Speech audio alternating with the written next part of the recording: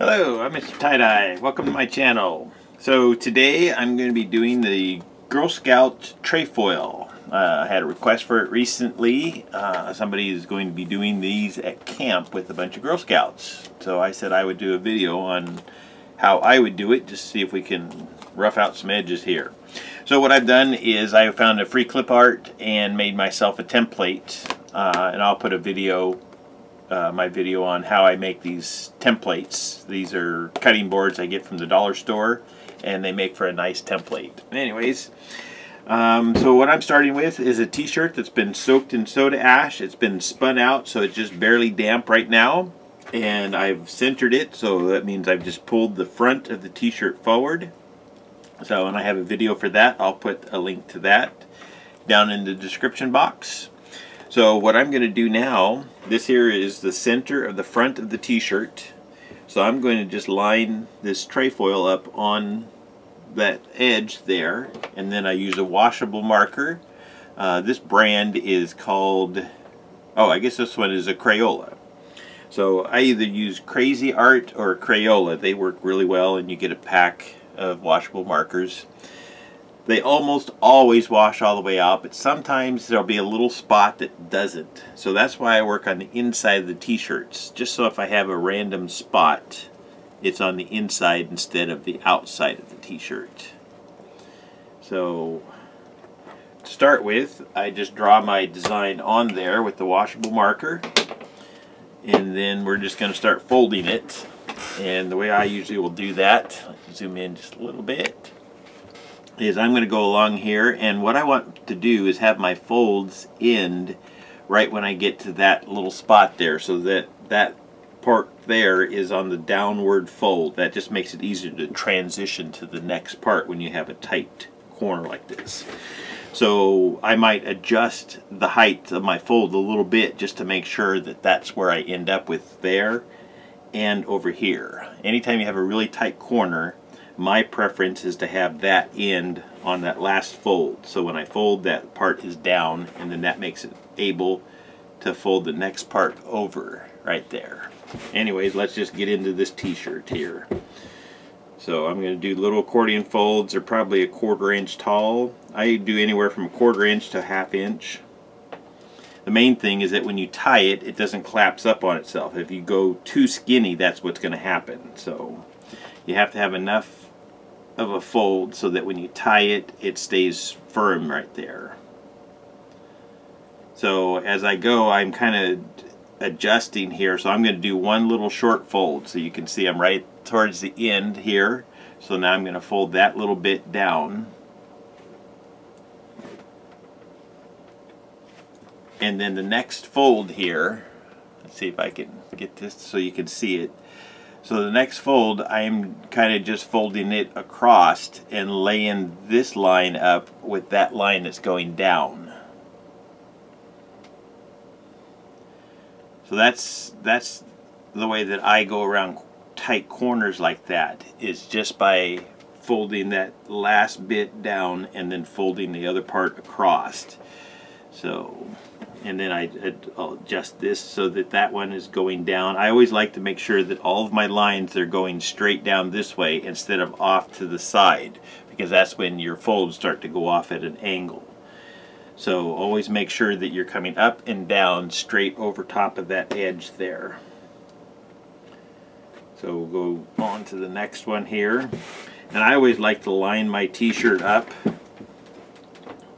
so that whatever I'm folding next is coming straight at me.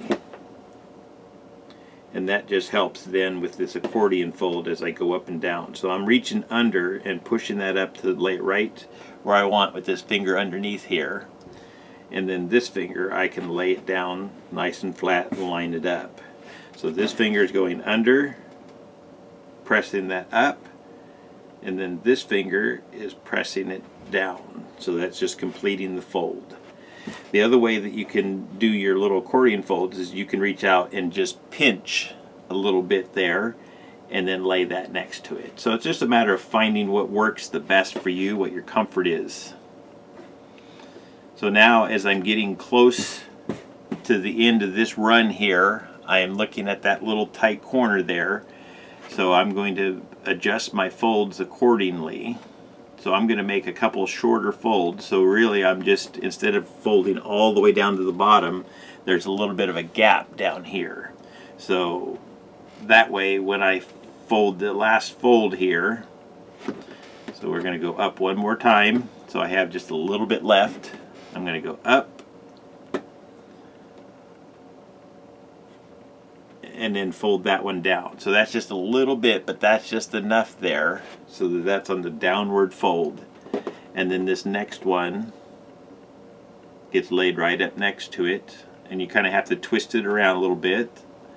But since you're working with fabric, you can manipulate that how you like, and that keeps that fold going. So like I say, you can see that this here is just a little bit of a funky crease there. But the main thing is just getting everything lined in because when I tie this up, then that's going to be my dye line.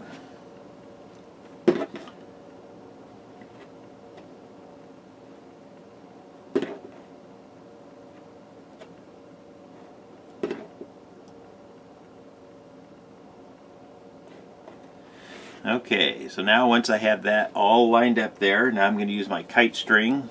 And what I'll usually do is wrap the kite string around a couple times and I give it just a little bit of a pull, I can hear it kind of lock into place there. It's not quite the same as sinew, but it does kind of want to lock into place. But I was just a little bit off, so we're going to rewrap that. Just so that I can be right on my line.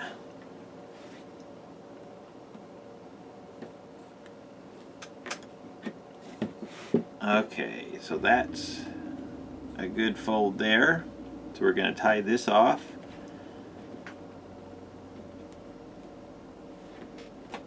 And then I usually like to go ahead and scrunch up the middle part here, whatever I've done, just scrunch that up a little bit.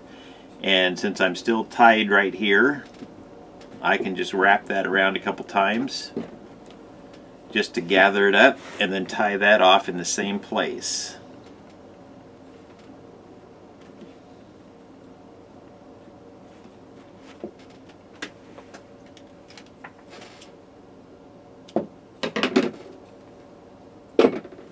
Okay, now the other thing, when he showed me a picture of what he wanted to do, he had a spiral around the trefoil. So what I'm going to do now is I'll go ahead and pull this out flat and I'm pulling the t-shirt out just right up to the line. You want to be careful just how much you pull it. You don't want to pull up past your your line here. Well, let's turn this around where I have the line.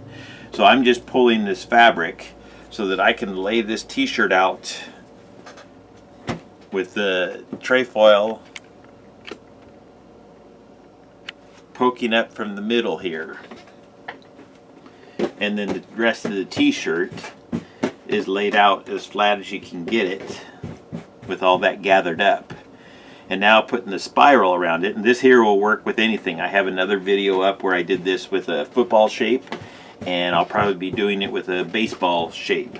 But this here is just a way that you can put a spiral around it. So you just gather everything up that you want, tie it off, so that's poking up.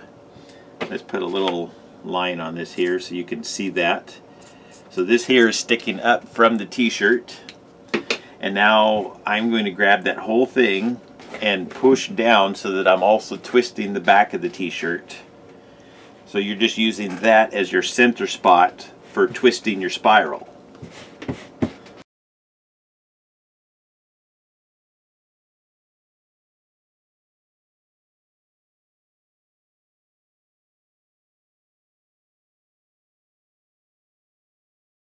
Okay, now we're back to put some color on the, the trefoil. So what I'm going to do, I'm, I like to outline my my design. So I'm going to use some thick black dye to outline this. But you could also just go ahead and go for it and just dye that. But I'm going to put some thick black dye on here. And I use this cuticle pusher to press it down inside just a little bit. And we're going to turn that over and do the other side.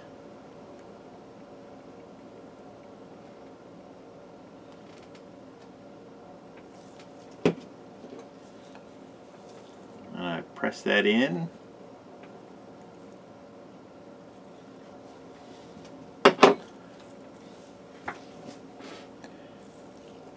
And then I'm going to dye this with a light green or bright green.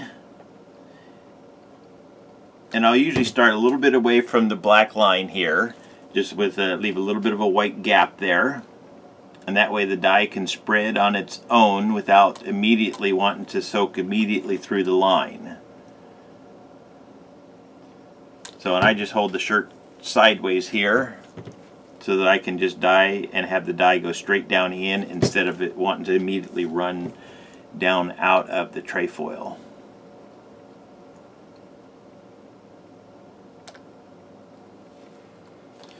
So now I'm going to dye the rest of the shirt. This here is something then that I take this part of the trefoil and I just stick it in between my fingers right there so that I can hold that in my hand and dye without this here because if you lay this down flat that part is going to flop over onto the t-shirt so this way I can keep that separate and what I'm going to do is well let's first draw some lines on here so we're going to draw some pie shapes on I'm going to use three colors the light green the dark green and a dark blue around this.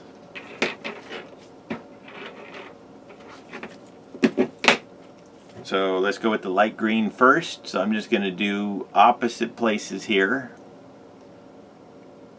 Or opposite pieces of the pie. So I'm going to color two with each of the colors. So we'll go across and do this one. And this will give me kind of a pinwheel looking spiral.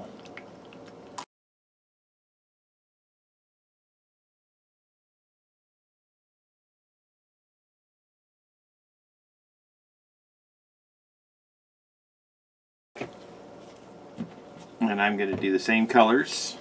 So I'm going to start out with my dark green and I can see my two lines here. So we'll just bring that right up to the center.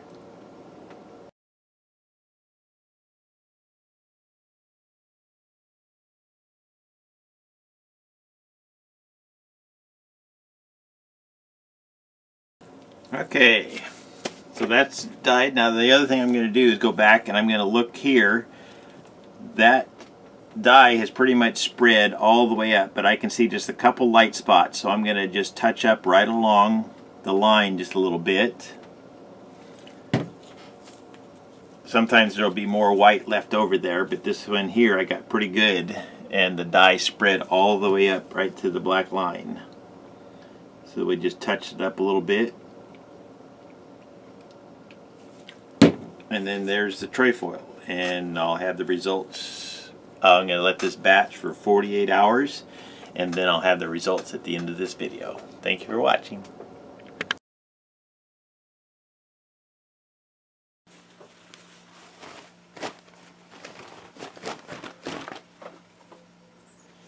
And there's a Girl Scout trefoil.